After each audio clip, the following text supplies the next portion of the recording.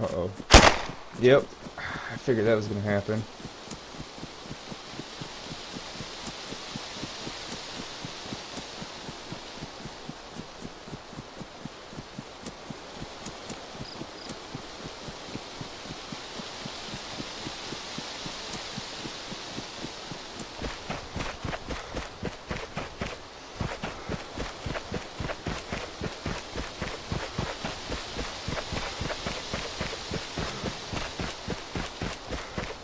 Why is this game filled with a-holes all the time?